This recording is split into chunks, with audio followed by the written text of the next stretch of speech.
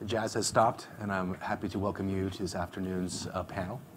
Um, the topic today is is, a is, a, big one. It's uh, uh, globalization, retreat or reinvention. I welcome all of you here in the room, as well as everyone who is joining online on TopLink and on Politico. Um, my name is Matt Kaminski. I'm the global editor of Politico. I have a terrific um, group here today to address this question. Um, as you may have heard, um, the theme of this year's Davos is Globalization 4.0. Um, and It struck me in thinking about this before the session that you could really kind of see this in one of two quite contrasting ways. The first one is things have never been better for globalization. We are more prosperous. The world is more peaceful. Unemployments are at record lows across Uh, developed countries. Uh, growth is at records in the developing world. Um, we're more integrated culturally uh, than than ever before. Um, and at the same time, this panel could be called, and the theme of Davos could be Anti-Globalization 3.0. Um, you think of the interwar period, you think of the spasms around the pre-9/11 period in Genoa and Gothenburg and Seattle of the anti-globalization movement, and you think of our current politics. We have Brexit. We have the first president of the United States who is openly protectionist, at least in in open memory. We have populist movements on the rise in France now, across Europe, in parts of Asia as well, Brazil. Um, and we are seriously thinking about the future of the EU, one of the great uh, institutions that has helped bring the, at least that trading bloc closer together, of the WTO as well. Um, so the question here is, uh, what's really going on and and what is to be done? Uh, with your help in the audience and with this great panel, we have one hour to answer it. And um, I really want to begin with Frank Appel. Um, I think it's Appel, I guess, in whatever you prefer, um, who's been the CEO of uh, Deutsche Post DHL for the last 10 years, and whose business literally depends on on globalization. I think three-quarters of your business is outside of um, of Germany. Um, and if cross-border trade and ties don't thrive, I'm sure DHL won't do particularly well. Earlier this morning, you were on CNBC, and you said, "Globalization is not on the retreat. Uh, just keep going on." Tell us why you're so optimistic. It seems a bit out of uh, tune in- Yeah. You know, I'm I'm not really optimistic. By the way, we are not only benefiting, we are enabling uh, globalization as a company, uh, and we are very proud of that. Um, so we measure every other year the progress along four dimensions. We call that DHL Connectedness Index. Capital flow, information flow, people flow, and trade. And in 2017, all indicators were up. And in total, we had the most globalized planet ever. And in 2018, where we have not the final numbers yet, we have seen a continuation of uh, new free trade agreements. Uh, there is more voice around protectionism, and that is only one dimension of many. I think we have not stopped in 2018 for sure. People flow, capital flow, information flow, and even on trade, I believe it went up and not down. So, you know, it's not optimism, it's just fact and figures which are showing that the world becomes more global, and fortunately so. So you're not one of these CEOs who, in this recent survey that Pricewaterhouse did, is thinks the growth will decline and that prospects for your company and for the world economy are going down. So we have never been so uh, you know overwhelmingly optimistic nor pessimistic. And we expect still that the business will continue to grow next year. Um, there are no indicators. If I talk here, I see many people telling me, CEOs saying, "My company is doing extremely well," but outside it might be different. So if that's consistent, you know, then the economic situation is pretty still very strong, I believe. What explains the disconnect between the politics and the economy? You know, there is, you know, it's maybe not the politics, it's also the population, uh, which believes, uh, and that's tricky where it comes from, that they are not benefiting from that. Um, and that's a part of a problem. It's also a part of a problem, we are talking about reinvention. You know, interesting enough, there's also a split between the young and the elder people. The young still believe that globalization is going on and should continue to do, and elder people think that they are not benefiting. And, and that is probably a complex matter. Why is that happening? Of course, Brexit is You know, if it's a hard Brexit, it's a disaster for the UK and Europe at the same time. Um, and you know, you know, if it comes, we will muddle through that somehow. We will help our customers, and you know, mm-hmm. it, will not as bad as people might think, um, uh, but it's not good in, in any case. Sabine Keller-Busse, uh, you are the COO of, of UBS, uh, one of the great financial institutions of, of this country and, and the world. Now, um, a lot of the political retreat on globalization, uh, if we just acknowledge that there is a political retreat and there are these forces, uh, people say is rooted in the global financial crisis of uh, 2008 and, and, is being kind of so now. Um, I wonder to what degree, and you come obviously from the financial industry, is the financial sector part of the problem and, and maybe perhaps how can it become part of the, the solution? I mean, what we have to see uh, from a financial perspective, obviously, um, we are now, I would say, globally and uh, UBS as well, we are organized in a way which is uh, made to survive a next potential crisis. So we have all these regulatory requirements like building intermediate uh, uh, company holdings in certain regions, which is uh, um, allocating capital uh, in the right way. So um, I think there is this in, in our industry. There's definitely um, a divergence in regulations, um, and there's a strong push for regionalization, even nationalization of, of uh, um, as I said, capital um, and and this definitively is an outcome um, coming out of the crisis. However, I think um, looking into, uh, and, and, I'm with you, I think currently the economy is doing well. However, I believe we see some scenarios with Brexit, with this uh, um, China and, and US polarization. We see tendency, we see it in, in countries as well where there's national discontent with, uh, and, you know, extremists uh, um, becoming, becoming more prominent and pushing for national solutions. I think the danger in the way that uh, um, if you're just set up for, for, let's say, for resolvability or crisis, that in times when the economy needs certain areas where you should allocate financial mm-hmm. resources, we kind of park them not in a productive way. So that is something I think we all need to be aware of and, and uh, um, have a view. How, how likely, uh, from not at all to, to very, uh, that within five years we're going to see one of the big banks broken up by a Prime Minister Corbyn or a President Warren? I cannot envision such a scenario because. So not likely. Huh? Not not likely. Not not in, in my view, yeah. not not likely. Definitely not.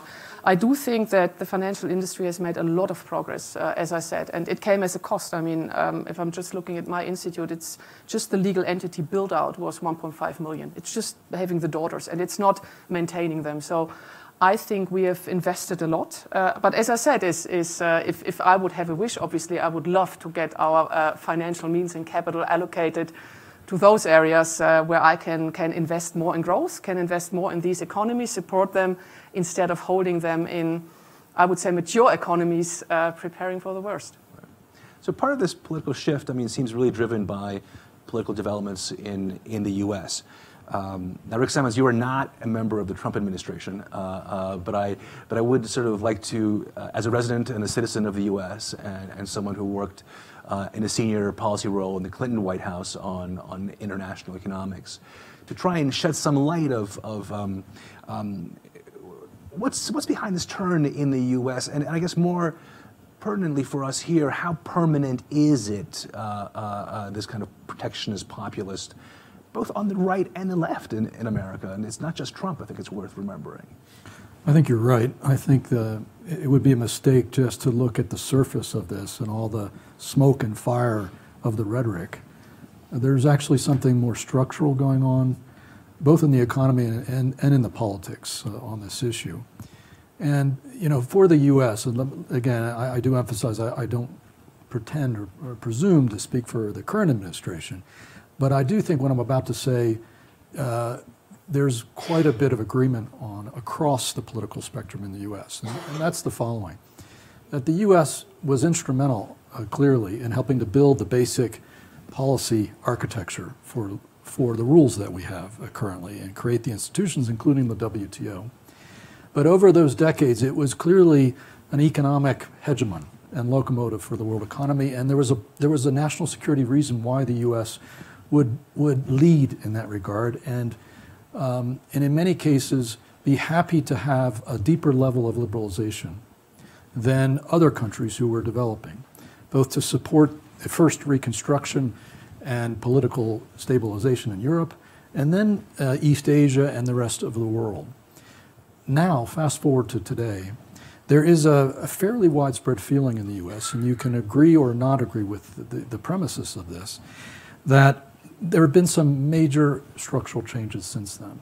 First, there are a large number of countries, including many middle income emerging market countries, that are highly competitive in, in key tradable goods sectors of the world economy. But their tariff levels, in many cases, and you, have seen the Trump administration hit this very hard, are significantly higher than the US. And they're, they're now uh, developing quite good living standards, certainly advanced OECD countries, but even many emerging market countries. And so there's a, a basic question as to whether that initial bargain that was created over those initial decades is still valid, particularly given what's going on domestically in the US. Secondly, is that we, we've had a different uh, um, market economy models, put it that way, develop. Some of them are more planned and have a larger role for the state in them. And there are both reasons there of industrial policy that don't quite sync up with the original American conception uh, that underlied why we created all these rules. And the rules don't directly address them. Uh, and then there are more informal ways of managing trade or encouraging industrial development in key technology sectors, again, that don't fit that, that conceptual system of the way you run a market economy. Here again, there's a feeling that we need to modernize the rules to address that in order to maintain uh, a fairness, a basic fairness.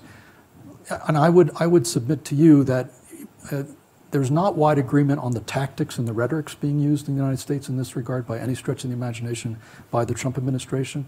But I think those two structural changes, there's a deep appreciation of. And I think even if you had a Democratic uh, president elected, you would find a fair degree of consistency in some of the policy uh, positions on these items. Since in America we start our, uh, sadly, uh, but good for my business. Uh, we our campaigns for president about two years in, a, in advance. Um, how prominent a role do you think trade will play in this 2020 campaign? And where do you see the Democratic Party? I think we know where President Trump is on this.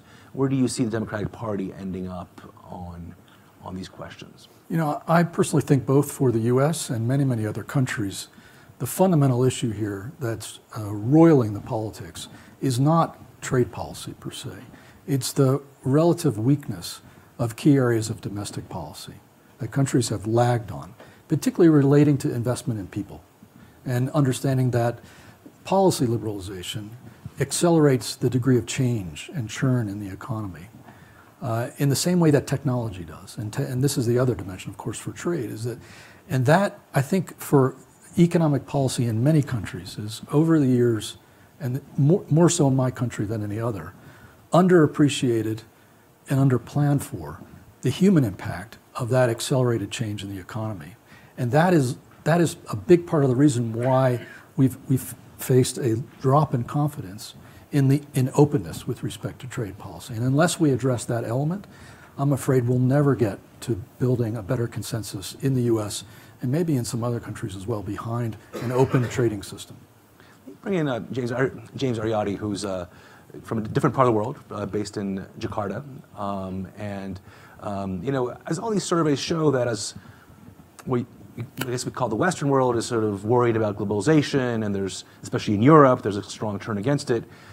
Asian people in Asia are very positive about it. Um, and I wonder now that China has become the, the, the, main boogeyman for the US, and you have the beginnings of what seems like a serious, uh, um, really sort of uh, uh, battle between Washington and, and Beijing over trade, whether that, that might change.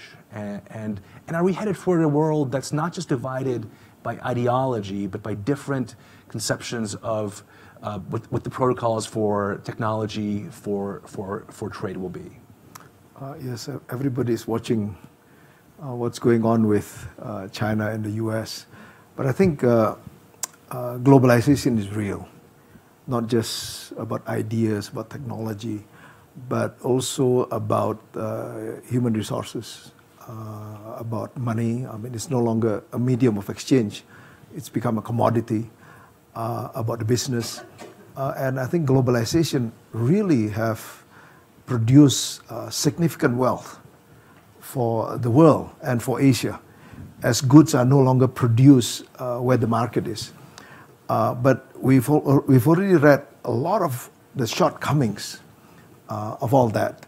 And I think as the issue now becomes uh, uh, real about, about what kind of new architecture it's needed, uh, I would like to say that uh, the focus has got to be on education.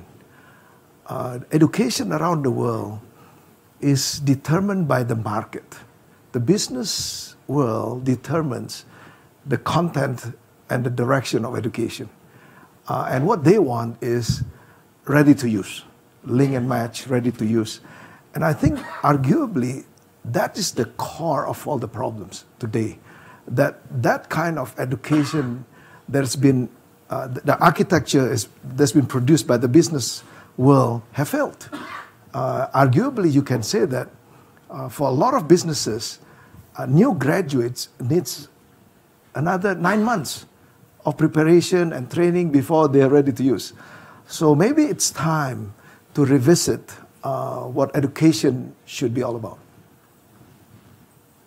Can I just stick on China a little bit, just a bit longer? I kind of wonder, you know, there is, I think what President Trump has done is sort of really sparked a debate uh, that hadn't been, uh, uh, uh been quite quiet in, in, in, previous decades, that how can a rules-based uh, trade order survive if one of the biggest players in, in that uh, trade order doesn't adhere by the rules. And I guess this question for, for all of you, uh, uh, but I want to start with you, James, is, is to what do you think Beijing might be rethinking its approach to the WTO, to, to sort of trade? Um, will, will, this, will Trump's strategy actually work, potentially? Well, if you look at how much progress and wealth has been made from the from one side of the coin at least. Uh, you would, the business world would want another generation of peace, so that things gets going. So you want some kind of orderliness and nobody nobody shouts and so on. But from the perspective of uh, this uh, of the U.S., uh, they are more and more left behind.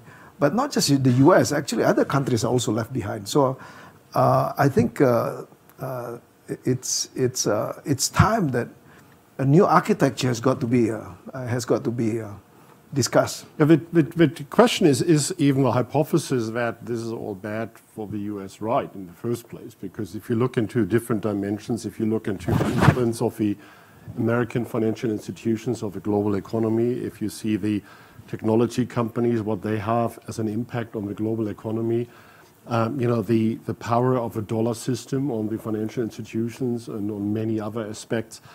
So I would say in the US has massive influence. You know, what is true is that there is a deficit in classical measure trade.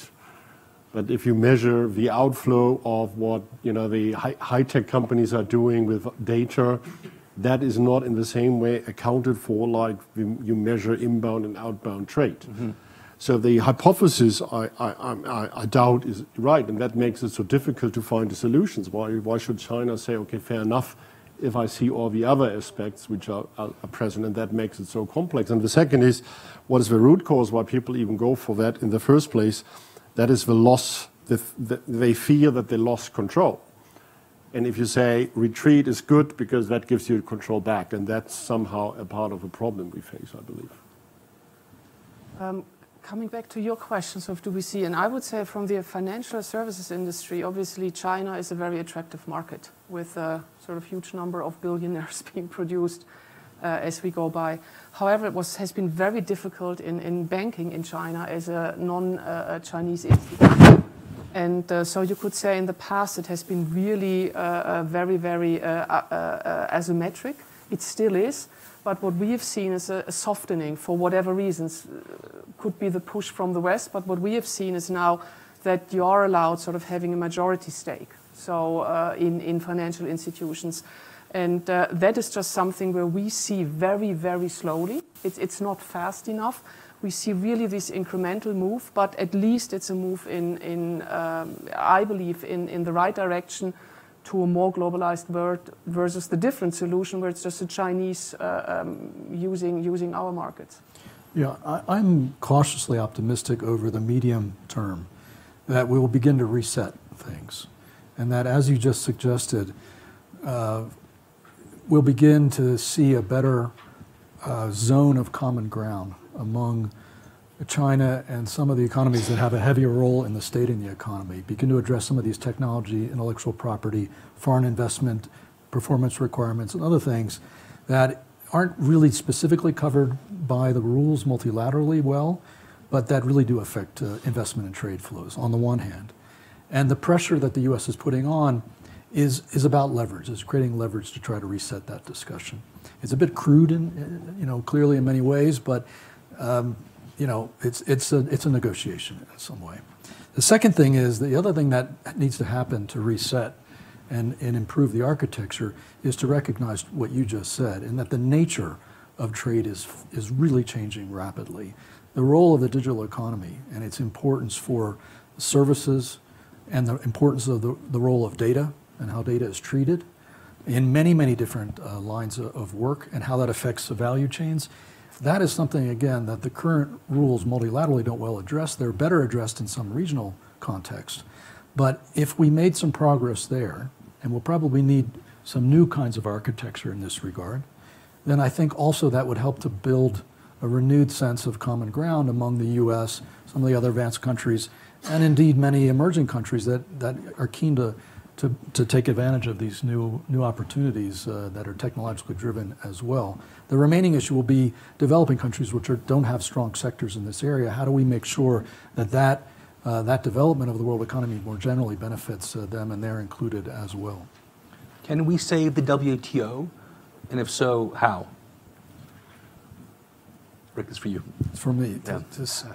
I think um, the first uh, step, I would say, is in fact to try, uh, and this is something the WTO doesn't have real control over, is to hope that what the first part of what I just said happens, and that there is between the you know the, the two elephants uh, in, in, the ring, that there is some accommodation uh, reached, uh, because that will help to, to lower the temperature and allow people to focus on strengthening the, I, the WTO. The second part of what I said is challenging for the WTO because it requires for them in their current construct all 160 or so countries to agree on rules. In some of these new areas, particularly the treatment of data, uh, that is not feasible in the, in the medium term. But what the WTO could do is provide, because it's the only institution that has the broad view uh, of the whole system, it could provide a place, maybe in cooperation with uh, informal platforms for dialogue like ours and others, an uh, opportunity for some bottom-up process to emerge on developing best practices that an increasing number of countries converge around and that create a, a, kind of a new architecture in the new areas of the economy that eventually could come into the WTO. But I doubt that, it, I doubt that they could start there and, and get universal support for them. And if you, if you were sort of holding that magic wand and, and you could say, um, looking at other existing institutions, or you want to create a wholly new institution that you think would be best placed to uh, ensure um, an order that uh, serves your company's interests or liberal values or what have you, what would it be? Maybe, um, Sabine, if I thinking about sort of is the Basel, is, is that sufficient enough to kind of provide the framework for the financial system, or should we be pushing for Sarbanes-Oxley to become a global global law? I, th- I think we have we have the right uh, groups, and as you mentioned with Basel as well. I think it's more like uh, the way we, we all act. Sort of, I think whoever is is uh, in charge, be on the you know uh, uh side of the politician, politicians, the polit uh, political decision makers, but the same being part of industries. I think it's it's acknowledging that we are at the moment. It's, it's I wouldn't say tipping point, but we see these these uh, tendencies, and I would rather sort of ensure that the existing bodies uh, people representing and are uh, um, you know members of these bodies that we are stepping up and that we're doing the right and starting with our industry i mean we need, we have an obligation as well to understand root causes and then invest. And I'm, I'm with you. I think investing in education as, as you know, companies, investing in, in goods and just making sure that, that we do the right thing for, for the economies, but leveraging our existing bodies. I wouldn't create the super uh, new uh, uh group. I, I, I, don't think. I think uh, we have, we have uh, the right um, forums. Frank or James, if you were Merlin, what, what would you do? Uh, so, so, you know, first of all, you know, as I said already, I think people are afraid somehow because they lost control. The reason why they feel is after the financial market that destroyed a lot of trust in business somehow. Uh, to a certain extent, and they said, "Oh, things are going on which we don't understand so much." We as business have not been very good in explaining what's going on, despite that we are probably the only institution who is really global. If I go into our company, who is 220 countries and territories, if you explain internally to the employees, to the shop floor level, careers warehouse clerks, why things are as they are, they say, now I understand what you are saying. And then they say, and you even, I, I only saw the headlines, but the, the Edelman Trust Barometer obviously is up, in particular for the, my own employer which tells me that this is, we have to explain more. And that's the reason why I believe business has to play a bigger role in the discussion again, in the G20 discussion, in WTO, because we are the only global institutions. Mm-hmm. For me, an employee in China is equally important as a German, an American. And I say that when I go around the world, you are equally important, like the people in our head office in Bonn, in Germany because you know we are running one customer promise, and that goes a long way for people, and they trust if you explain. And that I think we and we have seen that we are a family of people, and we have no conflicts between countries who are even in civil wars or something, because they say we serve the same countries. What they do at home, I don't know, but then they work for the same company. They work very well together, and I think we have to play a bigger role. G20 is probably more promising uh, because it's a smaller group. But if they rule the world, then the rest will follow because they are the power of the planet. And I think that is, you know, where their decisions need to be taken. James, do you think it's more in the realm of intergovernmental organizations? The governments are, are part of the solution, or is it more actually in the in the private sector that that, that has to take a bigger? Uh, for many years, uh, the U.S. have placed uh, priority uh, on uh, the issue of human rights, democracy around the world, and so on. while the other countries are thinking about economic growth and competitive economic growth. And I think it's the U.S. now is realizing it's you know it's, it's no longer about just democracy and human rights. It's also about the economy and economic growth and competitive uh, positioning. So I think I think I think uh, I agree with Richard that on the one hand, uh, I'm quite optimistic that they will find uh, a way to settle things. Then the existing international institutions can can come in and play their role. But uh, knowing China, uh, they might take their time, uh, and so this would be a this would be a worry. Right. So I want to bring in the audience. Um, uh, with uh, perspectives and sort of questions uh, please think, think what of yours. And before we go to the audience, I, I want to do a little quiz um, for all of you. It's, it's a one-word answer. Um, um, which force is going to change the world the most in the coming, uh, let's say, five to 10 years? I'll give you three, four options uh, globalization, uh, technology, climate change or fill in the blank. And you actually have to fill in the blank. So, uh, um, Sabine, you want to start with you? I, I would bet on technology, including AI. AI. More than quantum com- computing? Mm-hmm. yes, it's, it's, the new, let's, let's have two words, new technologies. Technology, okay. None of them, I hope, is youth, the next generation. Youth, all right. I, I, I think the what's the one word, I suppose? It's the, sh- I'm not sure there's one word. There's a shift in uh, perceptions about how to balance the economy uh, to make it work better for a wider degree of people. I don't know what, how to summarize that in one word, but Can you one word? one of the others. the one word answer. I would say technology and all the discrepancies that it's creating. And technology a force for good or, or, or ill? For good. Good? For good. We all agree is good? I, I would say you have to look at both sides of the coin. Yeah, Right. agreed. Because te- technology is propelling globalization, and, and we're talking about some of the negative aspects of, of globalization too. But, but think of the health aspect. I mean, technology can, can alter health. If you're thinking technology in countries where you're not having a medical, uh, um, uh, how do you say this? You know, you're not, not, not enough doctors available. Right. You can use technology a lot and enable people. We've seen that, the, the village doctors and, and all these things. So I think uh, uh, uh, pre-diagnostic of illnesses. So I think technology in its good. And it's not, I don't think it's the economic side only. I think it's the ability of technology, if it's deployed for the good side, that Yeah. could do a lot of change. I was struck by um, what Tim Cook said recently, the, the CEO of Apple, of course, that he thinks Apple's future is in health. Um, so there's watches that sort of measure your heart, heartbeat. So don't be shy. Uh, please and introduce yourself. I'm advocating for farmers from India and the poor, the developing world. We're talking about globalization, you're talking about WTO. Where does agriculture fit in? Because normally, when you have trade disputes like between China and uh, America, you're talking about uh, trade deficits and things like that. But when you look at agriculture, you're talking about livelihoods.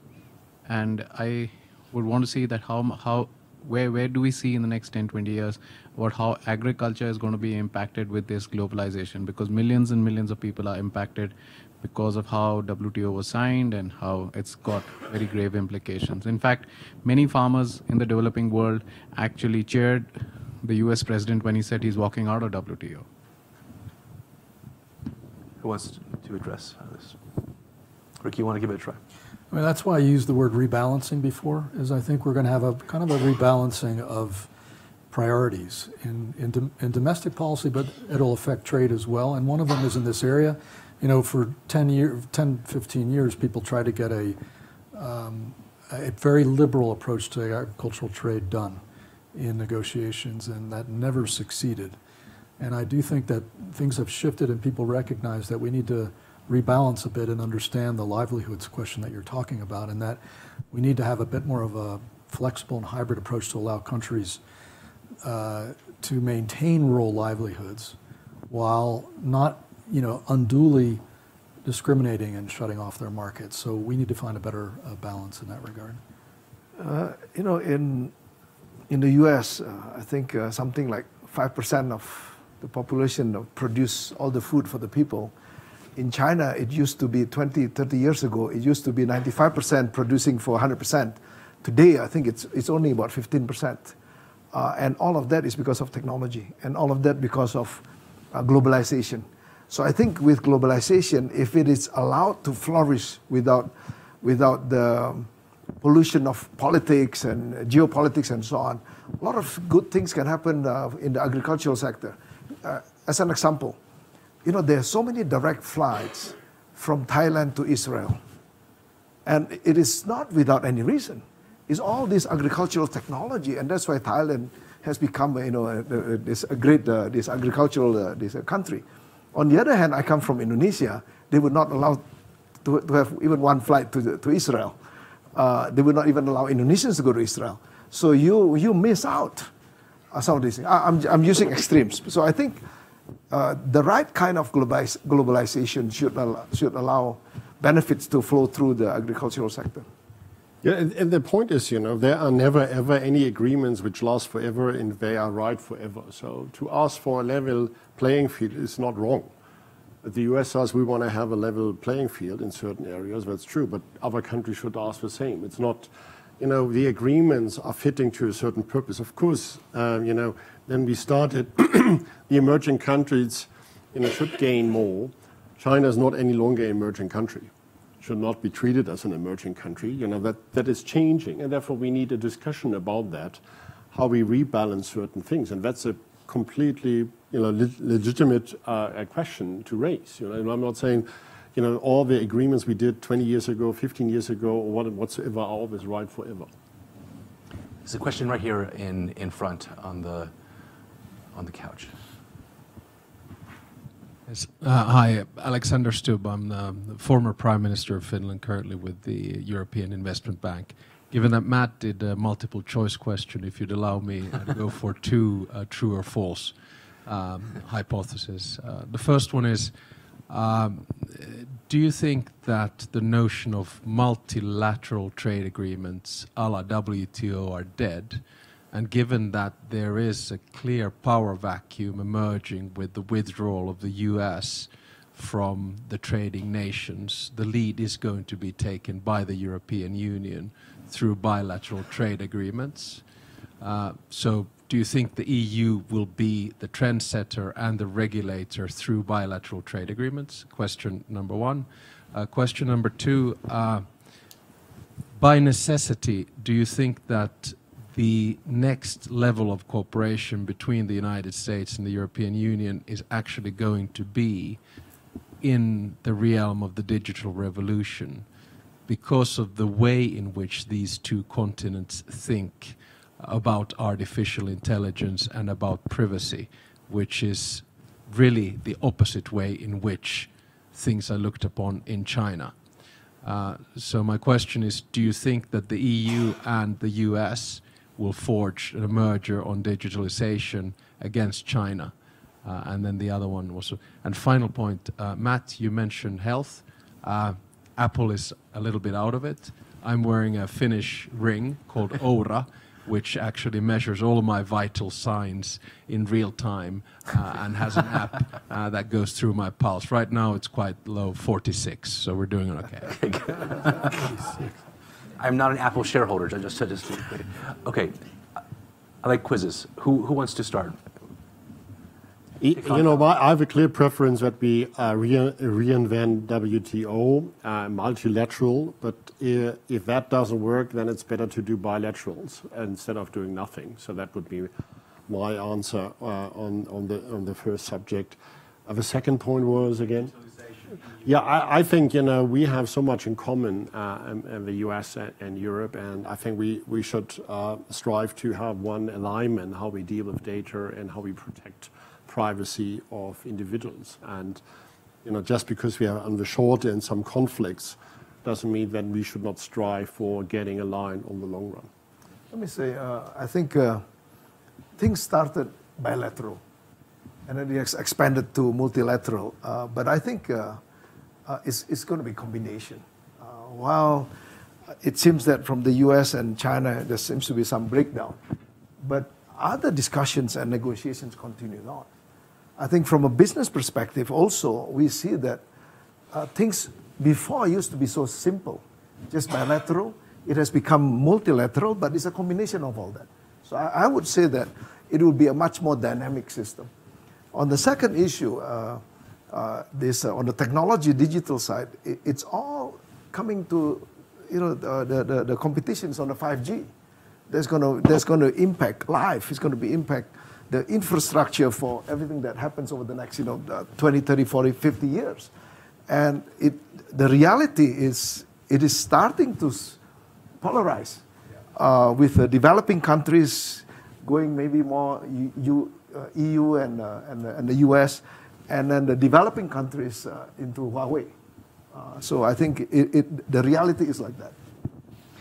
A slightly different way of asking you is the future clash between China and Europe slash the US a military clash, a trade clash, or a technological rules clash?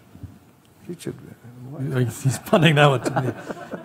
But I, I, don't, I don't want you to duck Alex's question either, to his two so or I think, I think there are elements of all that we're going to see, and that this is going to be the art of, of statesmanship uh, to manage this well, because we're so interdependent that to manage this in a clumsy way will be in everyone's, uh, will do harm to everyone. But on the WTO question, I think the WTO survival uh, depends on the WTO being able to embrace a more variable geometry than its traditional, everybody's got to sign on the dotted line. Right now, the rules in the WTO are not very hospitable for groups of countries, even large groups of countries, to negotiate something as a forward group that then the rest of the, the organization can accede to later on. That, that needs uh, uh, to change. Uh, and then the second part is even in a more variable geometry world, there's still a really crucial role for the WTO, the multilateral system. There are currently 400 uh, preferential trade agreements, usually regional trade agreements. There are 3,000 plus investment treaties in the world. It's such a maze of different rules that companies operating globally, let alone small businesses that are trying to export into different markets, have to navigate. Nobody but the WTO could do a better job than beginning to stitch together better coherence among this patchwork quilt. And that's a future way for the WTO to renew and refresh its utility in the world. Last thing, very quickly, on the digital and the data. Um, EU, US, actually, I think tomorrow we're going to hear from the Japanese Prime Minister on his agenda for the G20 this year. And I, I believe you will hear a significant new uh, emphasis in this area. So I, I, think the EU and the US can provide leadership, but I suspect it will not only come from those two. And I would, I would look for um, a larger coalition moving, maybe led by the Japanese, we'll see. Maybe, if you allow, I would like to follow up on James. If James' hypothesis is right that we get two, four, 5G networks, I don't, I don't know how we should run a global company any longer you know, because one, one camp will say you have to operate on that network and the other one, and then how we exchange information. You know, I, you know, I can't imagine if that really happens. Mm. You know, I don't know how we should ship any of the high-tech products from China to the US and vice versa. With, you know, how should we manage the data? You mm. know, is the data center then in China different or do we have to bring everything? And I, I you know, and, and that is a real problem. We have that already with data. Yeah. More and more countries are demanding that the data is only kept in the respective countries, and that is already a massive problem to manage. You know, we still deal with that, but if that really, if a technology is separated between two parts of the world, I have no imagination currently how we should run a, run a global business, actually. Do you want to take on the true or false challenge?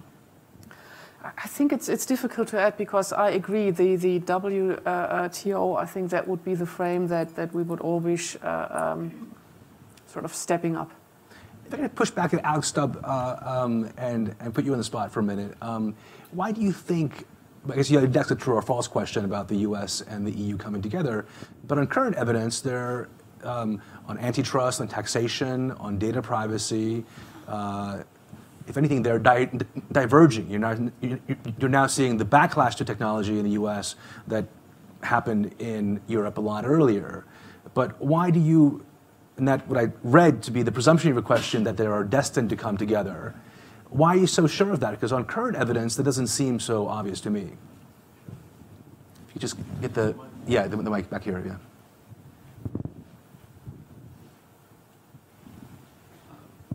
I think the starting point is linked to a belief in the individual and in privacy.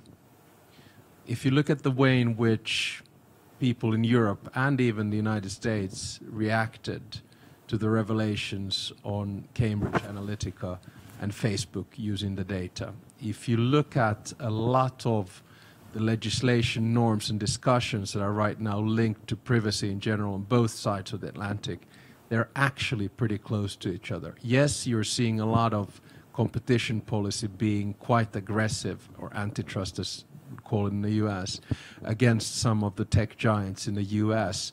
But a lot of the tech giants are actually right now adapting themselves to the, for instance, general data protection directive. And they're doing it not for Florence Nightingale type of stuff. They're doing it because of competition and necessity. On the other side, you have uh, China, uh, which has a completely different approach, I would argue, to the individual and the notion of community and privacy. I'm not saying it's wrong or right, but it's very different. What we're seeing now with some of the technological applications determining your social status, whether it's through Alipay or others, you would never, ever see that uh, in the United States or in Europe. So by necessity and by default, I think we will iron out some of the differences between the US and the EU, and to a certain extent, I'm simplifying, gang up uh, against the Chinese. So at the end of the day, it's going to be some of the uh, US based tech giants from Facebook to Twitter to Amazon going against Tencent, uh, Alibaba, uh, and others. And this will be the big sort of technological battle. And I'm sure you will then see the Western world simplified uh, going a little bit against China.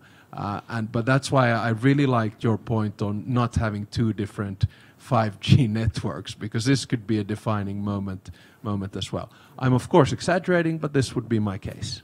Yeah. And for the same reason, I think uh, uh, if the US and the EU gang up together, it will be a very hard fight. Because you've got different set of values in terms of privacy and data and so on in China versus uh, in, in, in the Western world. Yeah, final point on this. You know, I've, I've, I wrote a Financial Times column a while back, slightly provocatively, for China, Europe is the new Africa. and my argument was that if you looked at a lot of the acquisitions by Chinese companies, either known or unknown, linked to, for instance, uh, intellectual property and otherwise, Europeans just let it go. We didn't have a CFIUS dealing with this. And now you're starting to see a lot of the regulators, whether they're French or otherwise, starting to say that, hey, you know, Aixtron could have gone through the fingers. This would not have been a very good thing. So we're going to start seeing European regulators getting a little bit more aggressive, uh, I think, on this. Interesting enough. Yeah. Interesting sort of political turn, and maybe it's a funny way that I think Europeans would never admit it, but that sort of the um, Trump's sort of China bearish policy has seems to be rubbing off on, on Europe. But putting you, Frank, on the spot, you're sort of saying that if the future with 5G, that's China would be a separate entity and would be opting out of globalization, arguably, or, or making it difficult. But aren't we, in digital terms, already there? I mean, China has its own digital ecosystem. It's got its own champions. Uh, um, most of the American giants can't really do business there. Um, isn't it already there in a way? Yeah, but that, that's different because that's so far more consumer business anyway, and they, you know, that we have it in many in retail. If you look into the classical retail, you know, there are many different companies around the world as well. The, the point is, if you really start connecting the dots, how you deal with data and how you deal with information exchange. And I think we need a new agreement globally with an umbrella in every country has its own right to interpret what is in additional applicable in the respective country. You know, because we have not everywhere the same government rules, and that's the decision of the citizens of a respective country. So we need to find an agreement, you know, how we deal with that exchange in an environment that we have different governments. It's reality. And, you know, we have no right to say as Western, everything has to be a democracy. That's, you know, we can't do that. We can strive for that. We defend our democracy as Western countries, and we should. That's the reason why the US should be very well aligned with, with Europe. But we can't rule the world somehow with that. So we need an idea how we align with different systems mm-hmm. that we can still work together.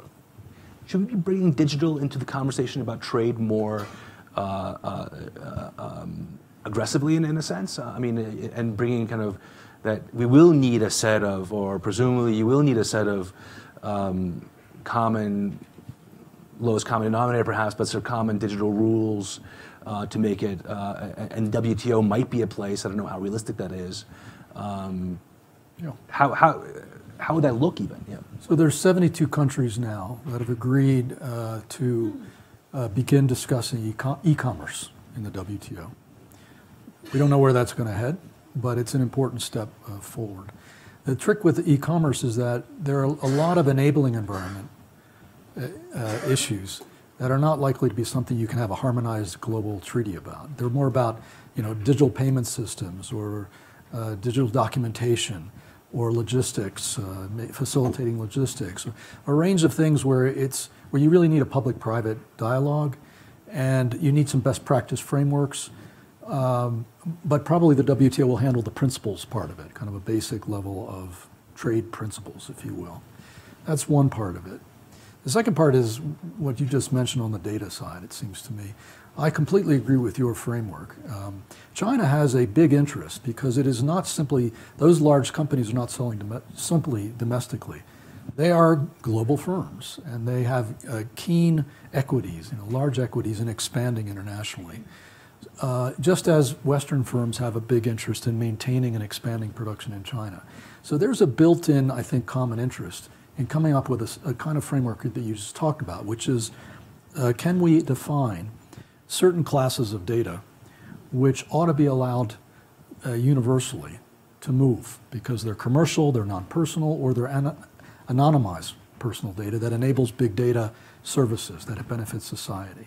And then, as you suggest, presumably there will be areas of policy that will differ by country because of their different cultural norms or different policy preferences that you have to allow for that kind of flexibility.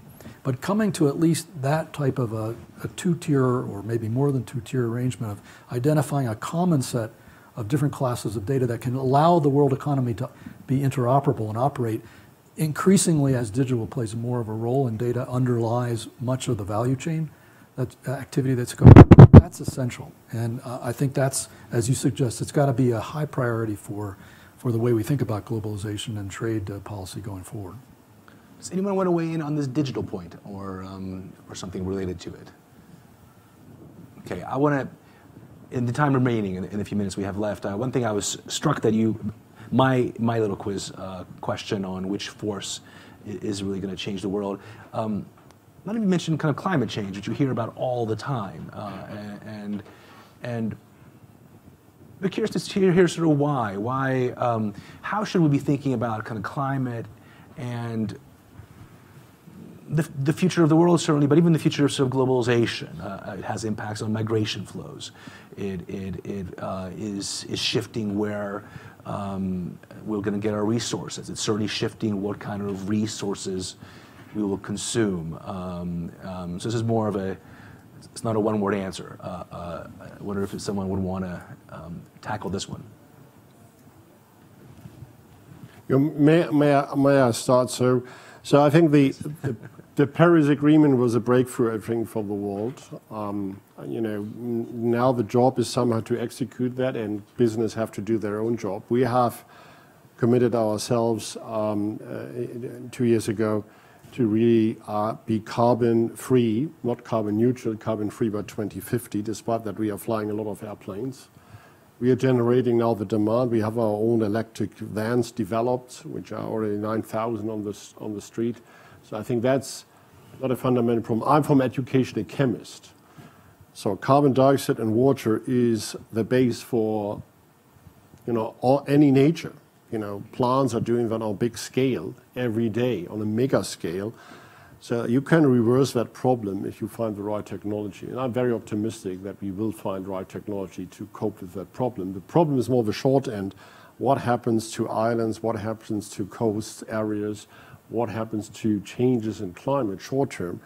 The fundamental belief I have is that this is fixable because the plants are doing that on mega scale, scale every day with carbon dioxide and water. So that is not an unsolvable problem. It needs commitment from the governments, which we have. Now it needs commitments from the business to, to generate demand, and then we will find the right technologies to solve it. If there's no, I mean, I think uh, you put your finger on a really important new phase of global economic integration and policy. The Paris Agreement, in order for it to succeed, we have to think beyond it and build upon it. As the Paris Agreement basically says, countries set your targets and let's measure and, and talk about them. And, but what the action has to happen in the, in the economy. And uh, you don't need a multilateral agreement uh, to try to tackle emissions reductions where they are most important, in the most important countries and the most important industrial sectors. And the new way, this is where trade comes in. A, a new kind of trade alliance would identify uh, clusters of key firms and key sectors that emit that agree to remove the, the, the competitive disadvantage argument by agreeing on certain common uh, standards or approaches going forward. And if that's done, you begin to have sort of a sectoral build out of uh, trade understandings in, in the areas that matter. And then secondly, uh, you know, we have all sorts of uh, trade uh, agreements regionally. Why, why, why shouldn't we have a plurilateral, in other words, a, a subset of countries, a link their procurement, their uh, financial system disclosure in respect of climate change, their tariffs, lower tariffs for green products. Uh, there are standards for what they consider energy efficient uh, equipment. Uh, what they want to do on, on subsidies. This could form a new type of non regionally specific uh, kind of trade alliance, trade, trade and economic cooperation alliance that would be a, a big way to advance progress on climate change. But it's a new way of thinking about trade and globalization going forward.